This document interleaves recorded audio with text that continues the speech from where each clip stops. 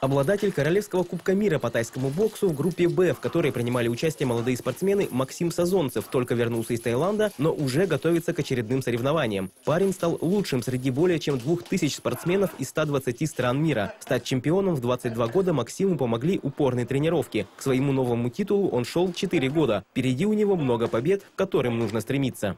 Ехал побеждать, как бы до других второе, третье место как-то, честно говоря, не думал. Уже находясь там на соревнованиях, понимал, что надо только побеждать, других результатов не ждут. Как бы здесь уже не только за себя, за свою команду, за город, край, а в общем за Россию.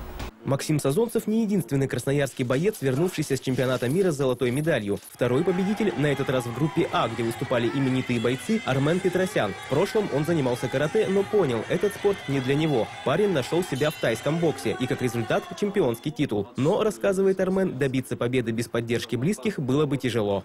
Поддержка – это очень важно, когда тебя поддерживают родные, близкие, друзья и, конечно же, твоя команда. Ну и тренировки, еще раз, очень много работали, очень много сил мы затратили. И победили, дух, очень важный дух в ринге. Ну, не верится, честно не верится, потому что на самом деле очень тяжело к этому шли и добивались этого.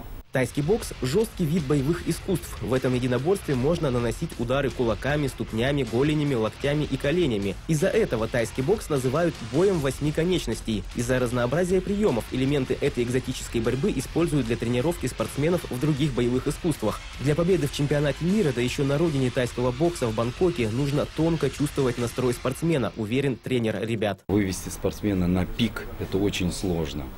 А, можно перетренировать спортсмена, его пиковый подъем заканчивается, идет на спад.